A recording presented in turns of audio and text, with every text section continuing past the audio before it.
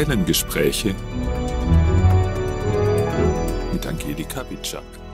Mein Name ist Angelika Witschak, ich bin Journalistin und Theologin. Für die Diözese Rottenburg-Stuttgart bin ich unter anderem für den Podcast Kapellengespräche zuständig. Diese Staffel der Kapellengespräche beschäftigt sich mit Gemeinden und Riten, die anders katholisch sind.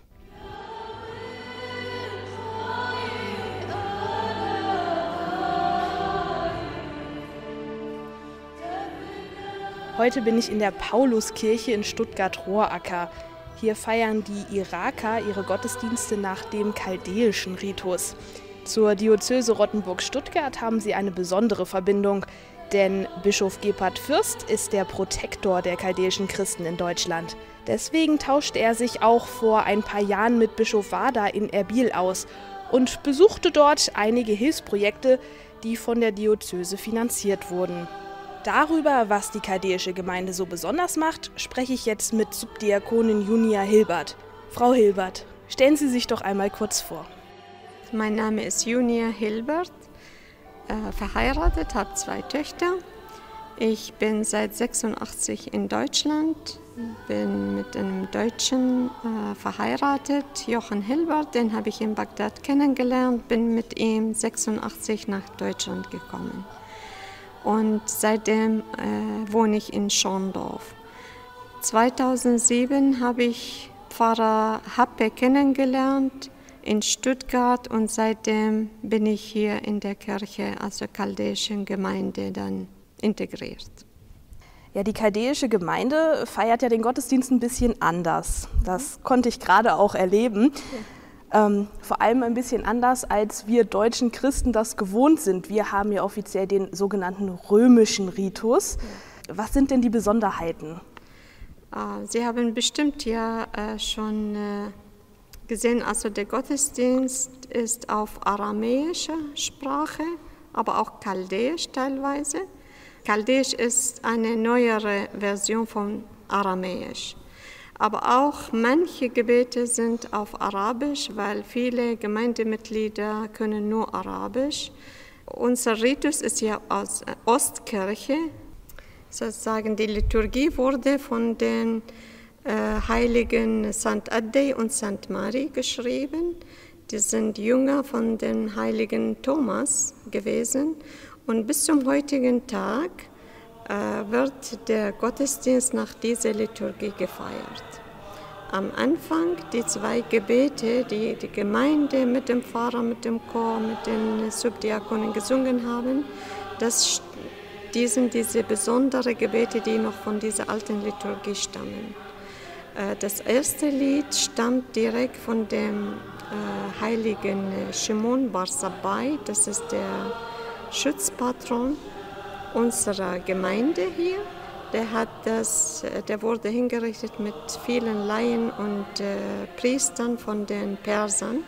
Und auf dem Weg der Hinrichtung hat er das Lied gesungen oder geschrieben und hat die Leute ermutigen. Und das wird bis, wie gesagt, jeden Sonntag bei uns im Gottesdienst gesungen. Und natürlich die Tradition, die wir vom Osten mitgebracht haben, die Sprache, äh, die Kultur bisschen, äh, das dominiert auch in unserem Gottesdienst. Bei uns wird viel gesungen im Gottesdienst. Äh, Evangelium wird jeden Sonntag vom Pfarrer gesungen und nicht nur gelesen.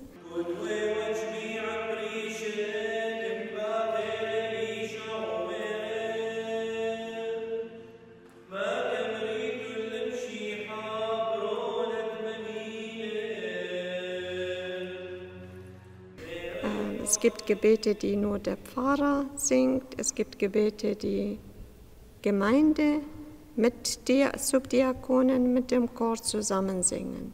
Ja, das sind die so. Aber ansonsten es gibt keinen grundlegenden Unterschied zu, dem, zu der Messe in der lateinischen Kirche. Mir ist auch aufgefallen, ähm, ich kenne es so von uns, dass äh, der Diakon sagt, der Friede sei mit euch genau. äh, und dann gibt man sich gegenseitig den Frieden mit der Hand. Das ist ja hier ein bisschen anders. Können ja. Sie das nochmal beschreiben? Ja, also bei uns kommt, haben Sie es gesehen, ein Subdiakon kommt, kniet vom Altar, bevor der Pfarrer den Gruß gibt, also den Segen gibt. Und dann steht der Diakon, geht, küsst erstmal den Altar und dann nimmt er den Friedensgruß direkt von dem Kreuz, was der Pfarrer in der Hand hat. Und dann sagt, Friede sei mit euch. Dann geben die Ministranten, die Kleinen, den Friedensgruß erstmal hier im Altarraum an den restlichen, die da sitzen, und dann gehen sie in die Gemeinde runter und geben den Gruß weiter. Und auch nicht mit einem Handschlag, sondern ähm, man gibt sich sozusagen die geschlossenen Hände, genau. ähm, werden auf die anderen geschlossenen Hände desjenigen gegeben, gegeben, der den Friedensgruß empfängt. Genau, ja. genau. Ähm, auch die Kommunion ist mir aufgefallen, war ein bisschen anders. Ähm, die Messdiener hatten so eine Schale noch dabei. Patene. Damit äh, die heilige Kommunion nicht, falls die runterfällt, dann hat er äh, eine Patene drunter, dann fällt sie auf, auf die Patene und nicht auf den Boden, weil das ist das Heiligste, was bei uns ja gibt. Und bei den Kindern, die jetzt noch keine Erstkommunion hatten? Ja, die sollen die Hände kreuzen auf der Brust also, und dann Kopf äh, nach unten, wenn sie zur Kommunion kommen, aber die bekommen die Schale von der Kommunion auf dem Kopf als Segen. Also sie empfangen den Segen von der heiligen Kommunion und gehen weiter. Ja, jetzt haben wir ja schon ein paar Unterschiede gesehen, die es während der Liturgie, während der Messe gibt. Aber es gibt ja auch noch mehr Unterschiede. Ähm, fangen wir vielleicht mal mit dem Optischen an. Ich habe mhm. gesehen, Sie hatten ja auch andere liturgische Kleidung. Also mhm. der Priester sah ein bisschen anders aus. Sie hatten selber als Subdiakonin ähm, auch zum Beispiel ein Kopftuch mhm. an. Ähm, dann hatten die Messdiener hatten relativ normal, würde ich sagen, die ja. Kinder eine Albe. Ja. Aber dann gab es ja auch noch Erwachsene. Ähm, waren das auch Subdiakone? Oder waren das Messdiener? Vielleicht erzählen Sie da einfach also, ein bisschen was dazu. Die, also äh, wir sind hier sechs Subdiakone, die, die Älteren, die zwei Herren. Und äh, heute waren zu zweit, heute hat einer gefehlt und wir drei hier. Ähm, wir sind alle Subdiakone. Subdiakone sind geweiht vom Bischof. Der, unsere Weihe war äh, 2013. Da kam unser Bischof ähm, aus Erbil, das ist im Nordirak, hat uns geweiht. Das, wir waren eine Gruppe äh, mit 20 Personen, 17 Herren und drei Frauen. Von Mainz, Pforzheim, Stuttgart und Heilbronn, alle Gemeinden. Äh, wir tragen weißes Hemd und äh, Stola und äh, Zingelum. Wie sieht denn die Stola aus? Die ist ja auch besonders äh, gebunden. Ist ja jetzt nicht ja. Äh, wie bei einem deutschen Diakon zum Beispiel einem, im römischen Ritus, dass der ja. von der Schulter schräg ähm, über Und, den Oberkörper ja. geht, sondern er sieht ja ein bisschen anders aus. Ja, bei uns ist genauso auch beim Diakon. Aber wir sind keine Diakone, wir sind Subdiakone. Wenn wir ich nicht natürlich als Frau, aber wenn die Herren zum Diakon geweiht werden, kriegen sie auch dann so eine Stola. Aber jetzt haben sie so eine Stola, die über Schulter geht. Ich habe diesen V, die V-Stola. Kopftuch, das ist nur äh, als Zeichen der Respekt vom Altar vor der heiligen äh, Kommunion.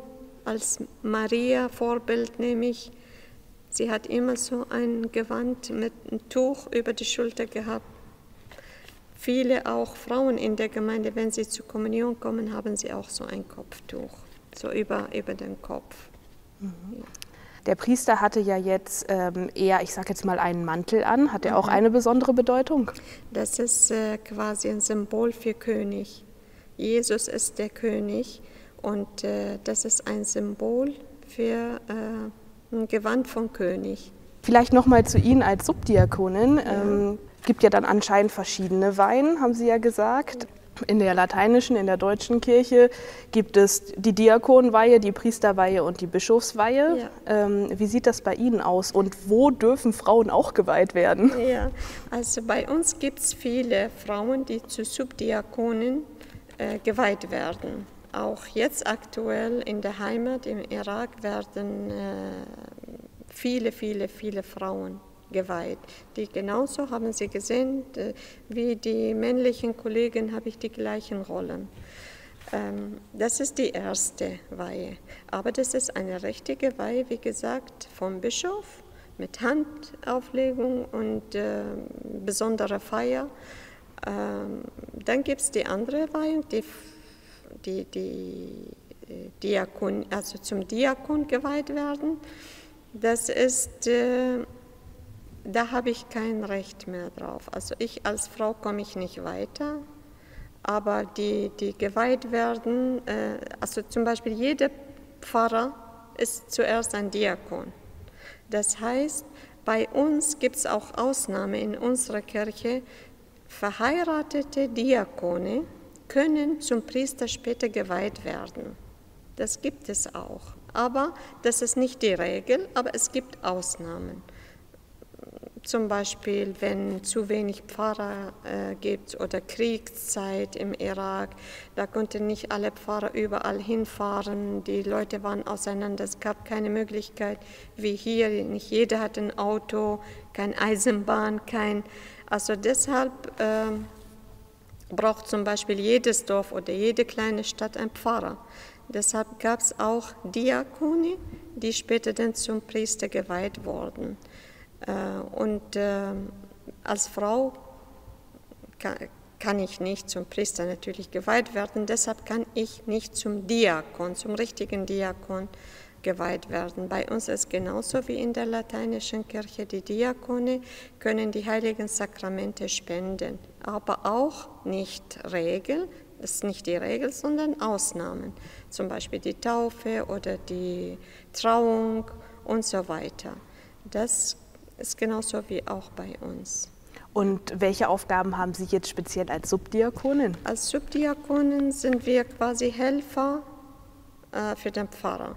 Wir, haben, wir sagen immer Dienst äh, des Wortes, also wir machen Lesungen, Gebete, die nur wir aufsagen, haben Sie das bestimmt auch gesehen im Gottesdienst. Manche Subdiakonen so abwechselnd sagen sie bestimmte Gebete ähm, teilen Kommunion aus. Wir sind bei jeder Taufe dabei, bei Beerdigungen sind wir dabei, bei Trauungen sind wir dabei, immer zusammen mit dem Pfarrer. Äh, sind wir, also singen oder Lesungen, wie gesagt, und so weiter. Außerdem hat, hat jeder, so wie er will, manche Aufgaben in der Kirche übernommen. Ich habe zum Beispiel die Ministranten übernommen. Ich mache auch Katechese für die Ministranten, mache Katechese für die äh, Erstkommunionkinder, äh, weil die Kinder, die hier aufwachsen, können nicht mehr auf unsere Sprache oder Muttersprache alles verstehen.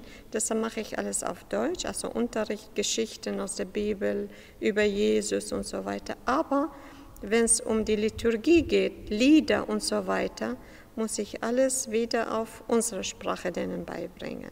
Was gibt es denn noch für Unterschiede jetzt außerhalb vielleicht auch der Liturgie? Also die, die Feste, die Feiertage und so weiter sind alle gleich wie in der lateinischen Kirche. Aber es gibt auch ähm, Festtage, die nur unsere Kirche betreffen, vom Osten. zum Beispiel die Heiligen. Wir haben Heilige dort, die hier nicht bekannt sind. Die haben auch ein Fest. Jedes Dorf hat einen Schutzpatron für, den, für das Dorf oder für die Stadt oder für die Kirche. Und Fasten ist bei uns immer bis zum Mittag, bis 12 Uhr, ohne Essen, Trinken und danach dann natürlich nur äh, vegetarisch also oder vegan besser gesagt. Also kein, keine tierischen Produkte, nur vegetarisch. Gibt es denn hier Besonderheiten im Altarraum? Ja, wir haben die Kirche 2014 von der Diözese Rottenburg zur Eigennutzung der kaldischen Gemeinde zur Verfügung gestellt bekommen. Bis dahin war die Kirche stillgelegt Davor waren wir in Botnang in Stuttgart, haben wir dort äh, gefeiert. Aber die Anzahl der Gläubigen ist immer gestiegen, weil äh, damals waren ja die Unruhen, die Verfolgung im Irak und wir sind wirklich immer mehr und mehr geworden und die Kirche war sehr klein. Ähm, deshalb haben wir eine größere Kirche gesucht und äh, wir sind sehr glücklich, dass wir diese schöne Kirche hier bekommen haben. Dann haben wir versucht, ein bisschen unsere Tradition reinzubringen. Sie sehen hier die Mauer hinterm Altar, das symbolisiert Babylon-Stil. Also so wurde damals gebaut, das babylonische Baustil. Äh, den Altar haben wir dann mit rotem Teppich verlegt. Das ist ein Symbol äh, für Blut der Märtyrer. Die Kirche im Osten oder unsere Kirche äh, ist bekannt als Kirche der Märtyrer. Ja? Und wie gesagt, habe ich da erzählt, unser Schutzpatron heißt Marshamun Bar Sabbai. Der war der zweite Patriarch der chaldäischen Kirche im Osten und er wurde von den Persern umgebracht. Und äh, viele, viele, über Jahrhunderte ist die Kirche immer verfolgt gewesen. Also die Christen wurden umgebracht von verschiedenen Seiten, ob Türken, Persern, äh, vom Islam später, dann von Muslimen. Und äh, deshalb dominiert hier die rote Farbe bei uns. Und als Symbol für das Blut der Märtyrer trägt unser Patriarch bis zum heutigen Tag rote Kleidung. Hm, okay. Ja, mhm. das ist die rote Farbe. Und dann haben wir über dem Altarraum da äh, im aramäischen äh, Schriftzug, der Chaldäisch, heißt, wir haben seinen Stern, Stern im Osten gesehen und sind gekommen, ihn anzubeten. Das bedeutet der Satz. Deswegen auch, der Stern äh, direkt vor der Schrift, genau. auch in, in Rot genau. gehalten, genauso wie das genau. Holzkreuz. Das hat ja auch äh, rote, Rot, genau. ganz viele rote ja, Farbpigmente. Ja, genau, das, äh, weil das ist nicht einfach, weil Rot schön ist, aber das bedeutet das Blut der Märtyrer. Wir denken immer und jedem Gottesdienst beten wir auch für die äh, über Jahrhunderte von Anfang an, die Märtyrer in der Kirche, die werden immer erwähnt im Gottesdienst.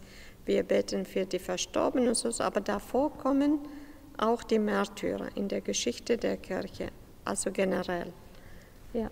Und ähm, dieser Spruch, ähm, hat er auch eine ganz besondere Bedeutung? Das ist von der Bibel, vom Evangelium. Wir haben da, äh, seinen Stern, die drei äh, Könige, die, die Weisen aus dem Weisen, Morgenland. Genau, ja. genau. Und deshalb, wir sind aus dem, äh, wir haben seinen Stern im Osten gesehen und wir kommen vom Osten. Deshalb, das war was Besonderes für uns. Und dann den Stern und das Licht ist Jesus in der Mitte. Und wir sind gekommen, ihn anzubeten. Und das in der Hoffnung, dass wir hier auch ein Licht sein werden für die, die, die das Licht noch nicht erkannt haben und gesehen haben. Das ist die Bedeutung. Und dann als Geschenk von unserem Bischof im Irak für die neue Kirche hat er uns das Kreuz geschickt als Aha. Geschenk. Das ist äh, ein chaldäisches Kreuz, ist ein bisschen anders. Wollen Sie es mal beschreiben? Ja, also die Sie sehen ja drei Rundungen im Außen, also jede äh, Seite mal vier, das sind die zwölf Apostel, die in vier Richtungen der Erde äh, gegangen sind, um das äh, Wort Gottes zu verkünden. verkünden. In der Mitte vier Rundungen, das sind die vier Evangelisten, die das Evangelium geschrieben haben. Matthäus, Johannes, Lukas und äh, Markus. Markus, genau. In der Mitte sehen Sie zwei Buchstaben, Chaldäisch oder Aramäisch. Das bedeutet J und H. Das stehen für Jehwa, Gott. Über den H sind drei Punkte. Das bedeutet die Dreifaltigkeit Gottes. Und die rote Farbe, wie gesagt, die äh, als Symbol für die, das Blut der Märtyrer. Und weil Jesus auferstanden ist, ist er nicht mehr auf dem Kreuz. Ja, wie, wie ist das möglich, dass ähm, hier doch einiges ein bisschen anders ist und es trotzdem eine katholische Kirche ist? Wir sind seit 1552 mit Rom uniert, also unsere Kirche im Osten, seitdem ist sie mit Rom uniert. Aber wir sind eine eigenständige Kirche mit eigenem Ritus. Aber ansonsten ist genauso alles wie in der äh, lateinischen Kirche. Wie gesagt, die Liturgie stammt vom ersten Jahrhundert, direkt nach Jesus, als St. Thomas, also einer der zwölf Jüngern Jesu, die, der nach äh, Osten ging, also über Irak, Iran bis nach China angekommen ist.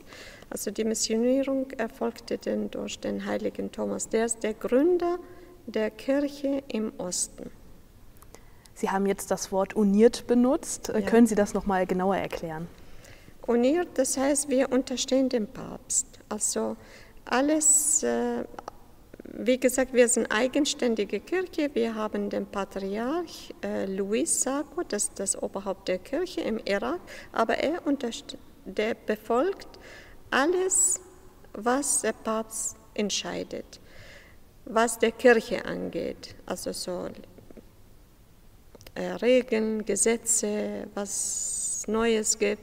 Aber was der chaldäischen Gemeinde alleine betrifft, dort im Irak, das kann er selber alles äh, ohne Rücksprache mit dem Papst zu halten entscheiden. Zum Beispiel, wenn es um Verwaltung geht oder Kirchen oder Weihe von Priestern und so weiter. Nur bei Weihe von Bischöfen muss er Rücksprache mit mit Vatikan erhalten. Also das heißt, er schickt seine Kandidaten, die Priester, die zum Bischof geweiht werden sollen, schickt er die erstmal nach Rom. Die werden geprüft und bis die äh, äh, so, wie sagt man, die Zu, äh, Zustimmung erfolgt von Rom, können sie dann vom, vom Patriarchen dort dann zum Bischof geweiht werden. Und wenn, wenn eine Änderung in der Liturgie gibt, zum Beispiel, die wollen irgendwas im Gottesdienst ändern oder kürzen oder ähm, egal so, was in der Liturgie gibt, muss er wieder alles dem Papst vorlegen. Die wird auch von, der, von einem Komitee dort geprüft. Wenn die nicht geprüft wird, dann dürfen sie das nicht ändern. Das heißt uniert. Und sonst alles, was äh, entscheidet wird in Rom, müssen wir auch folgen. Also genauso wie in der westlichen Kirche. Was bedeutet es denn, chaldäischer Christ hier in Deutschland zu sein? Momentan gehören bis zu 3000 äh, Chaldäer hier zu unserer Gemeinde. Das heißt, die leben nicht alle in Stuttgart, sondern Stuttgart und Umgebung. Also Ludwigshafen, wir haben Leute, die vom Bodensee teilweise zu uns zum Gottesdienst kommen, Rottenburg, Herrenberg, ähm, Singen, wir haben überall, also sie sind verstreut. Ja. Die, die, die länger da sind, haben auch inzwischen äh, Autos, aber die meisten kommen auch mit öffentlichen äh, Verkehrsmitteln äh, zur Kirche. Deshalb äh, es ist schwierig ja, für alle regelmäßig und jeden Sonntag hier präsent zu sein. Äh, generell in Deutschland gibt es fünf Zentren für Chaldea. Die größte Gemeinde ist in München, dann wir, dann haben wir in Essen, das heißt also Essen, Köln, Düsseldorf, Bonn und so weiter. Dann gibt es in Mainz eine große Gemeinde und in Berlin. Äh, in Deutschland gibt es fünf chaldäische Priester. Es gibt aber auch viele andere Orte, die weder eine Kirche haben noch ein Seelsorgezentrum. Es gibt auch einen Pfarrer, der sie besucht. Äh, deshalb gehen sie in äh, deutsche Kirche. Ab und zu wenn, die, wenn er Zeit hat, je nachdem Pfarrer von Bayern oder von Baden-Württemberg oder Essen besuchen auch diese Leute und vielleicht ein, zweimal im Jahr, damit sie auch einen Gottesdienst auf Chaldäisch, also auf Muttersprache haben. Wir sind wirklich sehr, sehr, sehr glücklich, dass wir hier diese Kirche bekommen haben, zur Eigennutzung. Es ist quasi ein Ersatz für die Heimat geworden. Auch Sie haben gesehen, die Leute wollten gar nicht mehr weg, weil sie treffen sich einmal die Woche und erzählen, die die Hilfe brauchen, unterstützen wir. Ja. Ähm, was sollte man denn ansonsten noch über die chaldäische Kirche wissen? Jeder ist herzlich willkommen bei uns. Ähm, weil die, die Leute so weit weg äh, von der Kirche wohnen, versuchen wir, denen das zu erleichtern. Wir geben jetzt, wenn sie runtergehen, Katechese für die Kinder, für die Kommunion, Erstkommunion. Dann gibt es, äh, wir haben auch Frauenkreis, die sich einmal im Monat treffen. Ähm, unser Chor übt.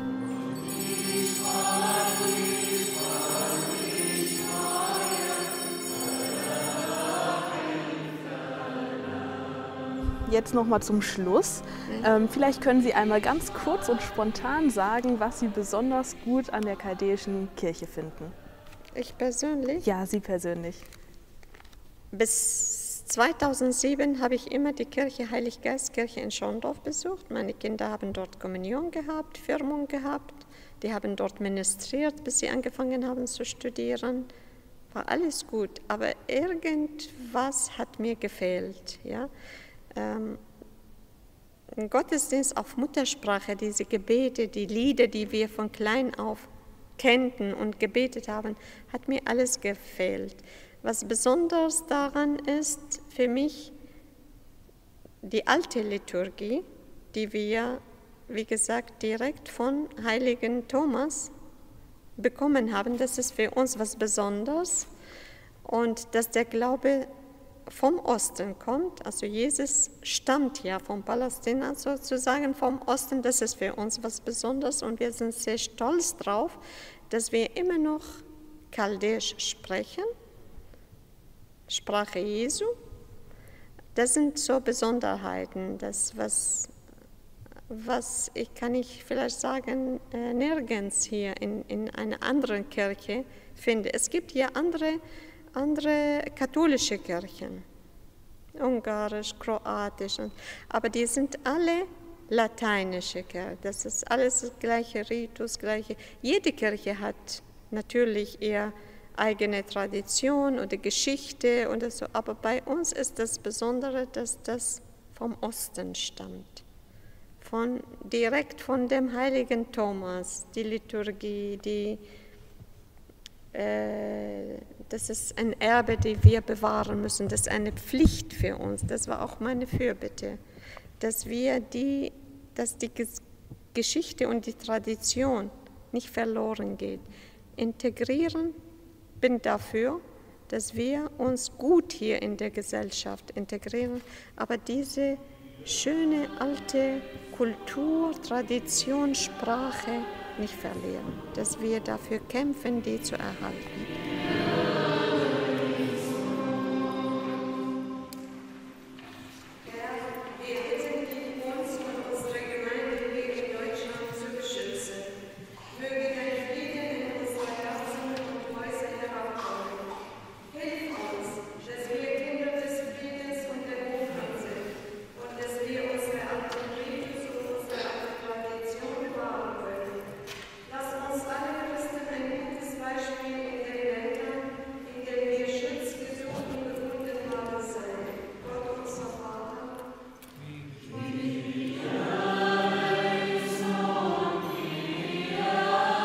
Liebe Frau Hilbert, vielen Dank in diesen spannenden Einblick in die chaldäische Kirche. So anders kann katholisch sein.